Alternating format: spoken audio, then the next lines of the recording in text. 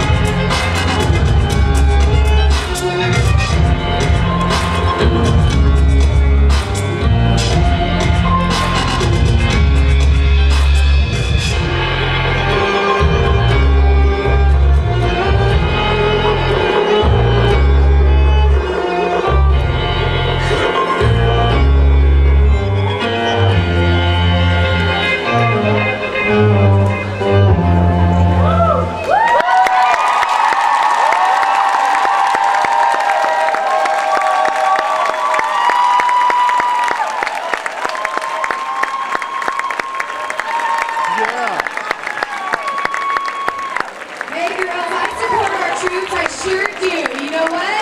I support each and every troupe right here at Tribal Fest 10.